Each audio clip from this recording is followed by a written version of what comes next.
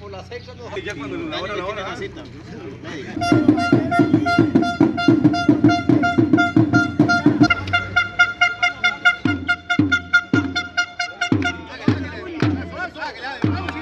Desde muy temprano este lunes, trabajadores operativos de la Municipalidad de Buenos Aires de Punta Arenas se encuentran en un paro de labores indefinido.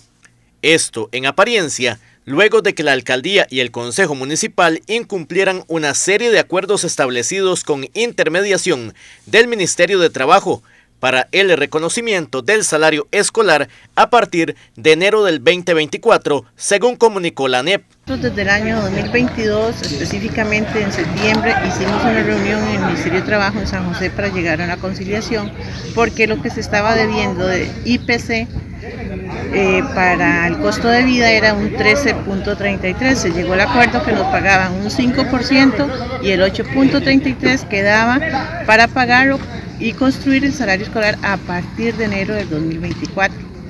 Eh, a partir del mes de agosto nos venimos dando cuenta de que eh, no lo van a pagar definitivamente y que no están dispuestos a pagarlo. Entonces, de ahí llegamos a, nosotros se los habíamos advertido desde antes que no queríamos llegar a medidas de presión, pero nos obligaron y aquí estamos.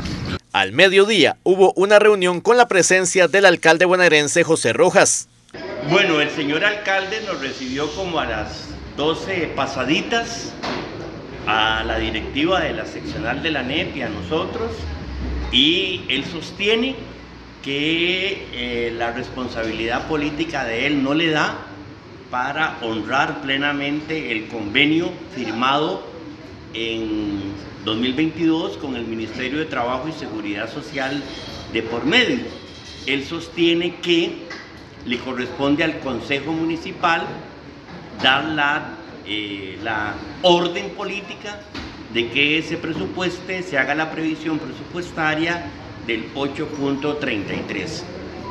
Eh, nosotros esperábamos confrontar al Consejo, sin embargo, súbitamente eh, se nos informó que el Consejo había levantado la sesión, pese a que el Consejo sabía que estábamos esperando ser recibidos y, eh, como se dice, huyeron por la puerta de atrás.